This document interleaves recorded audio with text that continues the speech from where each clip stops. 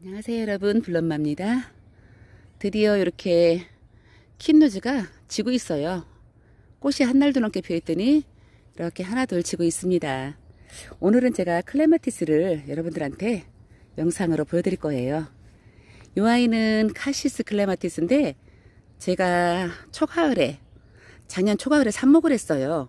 삽목을 해가지고 이 아이 하나를 성공을 했답니다 마당에서 이렇게 연약한 채로 월동을 잘했어요. 벌써 요 위에는 지고 있습니다. 제가 바빠가지고 요 아이 필 때 영상을 못 찍었는데 또 이렇게 두 번째로 아이들이 이렇게 피고 있어요. 여기는 아우 여기 너무 예쁘게 피어가지고 색깔이 이렇게 찐보라 요 아이 이름은 클레마티스 카시스 옛날에는 굉장히 비쌌어요. 근데 요즘은 가격이 많이 다운됐는데 색감이 굉장히 특이하고 예쁜 클레마티스입니다. 여기는 또 룬데리가 꽃이 피었어요. 다육이가. 다육도 꽃이 예쁜 아이가 많은데 제가 좋아하는 이 아이는 눈데리. 꽃이 노랑이랑 주황 투톤으로 굉장히 예뻐요. 그리고 눈데리는 묵을수록 또 이 아이가 굉장히 멋있더라고요. 여기는 여러분들이 사랑해 주시는 메아바이솔 그리고 핑크용을 제가 이렇게 비싼 담쟁이 분에 심어주니까 아주 이 아이들도 명품이 되는 것 같아요. 이 화분이 굉장히 비싼 담쟁이 분이에요. 그리고 여기는 롱기시마 여러분 이 아이도 물을 굉장히 좋아하는 것 같아요. 키핑장에 있을 때는 또 사장님도 바쁘고 저도 바쁘다 보니까 이 아이가 진짜 빼짝 많았었는데 제가 요즘은 물을 하루에 한 번씩 줘요. 그래도 이렇게 못자라지도 않고 아주 예쁜 모양을 하고 있습니다. 장미처럼 아주 예뻐요. 그리고 여기는 뉴질랜드 앵초. 여기는 이제 외출죽인데 하나둘 꽃이 지고 있습니다. 그리고 여기도 갯모밀도 제가 이렇게 외출죽이랑 늘어지게 같이 담쟁이 분에다가 이렇게 심어줬어요. 담쟁이 분이 확실히 화분이 비싸서 그런지 몰라도 풀을 심어놔도 멋있는 것 같아요. 이렇게 갯모미를 멋진 담쟁이분에 이렇게 심어줬어요. 앞부분이 사설이 길었는데 제가 저쪽으로 이동을 하겠습니다. 저쪽 가면은 굉장히 귀한 아이가 있어요. 여러분 잘 보신 적이 없을 거예요.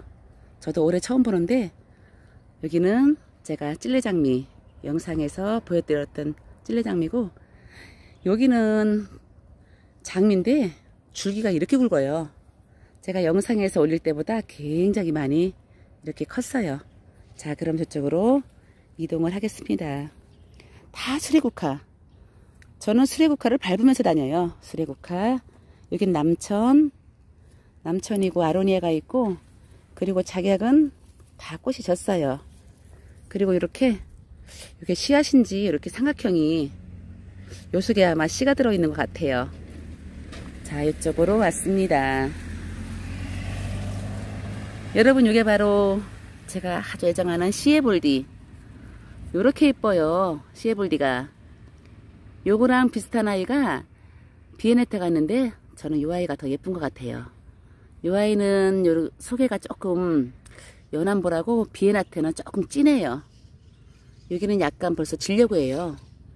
클레마티스가 꽃이 그렇게 오래 가진 않아요 이 덩쿨성이라서 끊임없이 계속 피고 지고 하기 때문에 꽃은 그렇게 오래 가지 않는 것 같아요. 여기도 몽오리가 두 개 있고 여기도 두 개나 있어요. 어 여러분 이게 이렇게 연약한 아이가 줄을 또 탁 타고 올라가면서 예쁜 꽃을 피워주고 있습니다. 아우 요 노끈이 보기 싫죠? 이렇게 예뻐요. 이렇게 예쁜 꽃 자세히 한번 보여드릴게요. 시에볼디 진짜 옛날에는 보기도 힘든 아이였는데 시에볼디가 저한테도 이렇게 있습니다. 저는 이렇게 몽우리진 것도 너무 예쁜 것 같아요. 그리고 옆으로 오면은 제가 영상에 올렸던 토종 큰꽃 의알인데 어 여러분 이씨좀 보세요. 씨가 무슨 바람개비 돌아가는 것처럼 너무 멋있어요. 꽃이 아니어도 더 멋있는 것 같아요. 꽃보다. 여기가 동글동글 말렸는데 아주 멋있어요. 꽃은 지고 또 이렇게 씨앗으로 두벌꽃을 피워주고 있습니다. 여러분 멋있죠?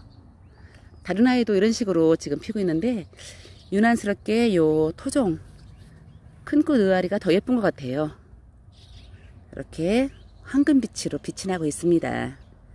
이게 씨앗이에요. 씨앗인데 이렇게 또 꽃처럼 아주 동글동글 볼을 만들고 있습니다. 여러분 오늘은 제가 삽목한 아이 그리고 또 아주 귀한 시에볼디 그리고 토종 큰끝 노아리 씨앗을 이렇게 보여드렸습니다. 벌써 해가 또 많이 떠올랐어요. 저는 여기서 영상을 마치고 밥하러 들어가겠습니다. 오늘도 좋은 하루 되시고 모두 모두 즐거운 하루 되시길 바랍니다.